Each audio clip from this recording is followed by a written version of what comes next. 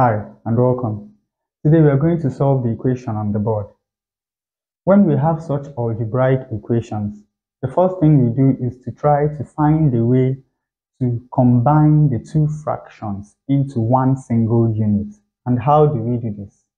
Now the first thing to do is we multiply this by this. That is c plus 1 multiplies c minus 4 we write down the sign and then we multiply this by this. That is t plus 2 multiplies t minus 3. Then we draw the line and then we multiply this by this. So we have t plus 2 into t minus 4 and of course this is equal to 0. Remember how it goes. It's just like an x. We multiply this quantity by this quantity. We write down the sign here. We multiply this quantity by this quantity. We draw the line. Then we multiply this quantity by this quantity. Now, the next thing we do is to multiply both sides of the equation by this number. And of course, multiplying this side of the equation by this number will simply cancel that. And remember, when you multiply anything by 0, it stays 0. So we have ultimately that t plus 1 into t minus 4 plus t plus 2 into t minus 3 is equal to 0. So this will be the equation that we will be solving ultimately. Now, there's a second way of doing this. We can take this quantity over to the right-hand side of the equation, since we have 0 here. And you know that once a positive quantity crosses over the equality sign, it becomes negative. So what we have is t plus 1 divided by t plus 2 is equal to minus t minus 3 over t minus 4. When we have done this, we can now cross multiply. So we have t plus 1 multiplied by t minus 4 is equal to minus t minus 3 multiplied by t plus 2. This is what we have. And then bringing this over, we have that t plus 1 into t minus 4 plus, because you remember this is negative, t minus 3t plus 2 is equal to 0. You can see that in both cases, we have exactly the same thing. t plus 1 multiplying t minus 4 plus t minus 3 multiplying t plus 2. So either of the two ways, either you combine the two fractions into one unit and then multiply the denominator, or rather multiply both sides of the equation by the denominator, or you move this over to the other side of the equality sign and then cross multiply.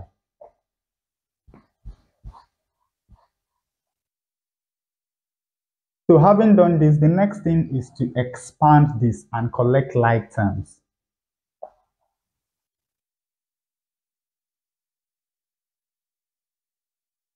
So here what we have is t times t is t squared t times minus 4 is minus 4t. 1 times t is plus t. And 1 times minus 4 is minus 4. Plus t times t is t squared.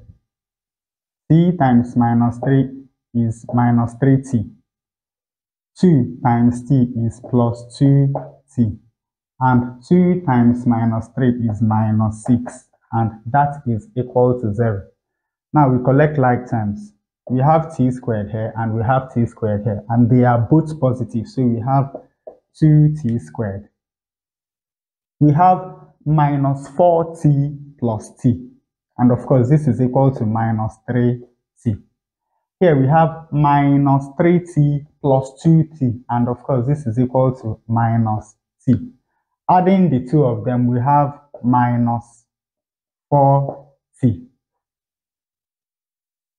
leaving us with the constant terms. Here we have minus 4 and here we have minus 6.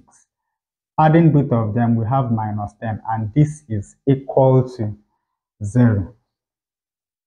I don't think we can factorize this equation, but let us find out. Now, when you want to know whether you can factorize an equation or not, what you do is to find the value of b squared minus 4ac. If this is a perfect square, then it means that this equation, this quadratic equation can be factorized. But if this is not a perfect square, then this quadratic equation cannot be factorized and you have to go on to solve it with the quadratic formula or you have to complete the squares. Now we have that b is minus 4 squared minus, you have 4, a is 2, and c is minus 10. So we have 16 minus times minus is plus. This times this is 8 times 10, so that is 80.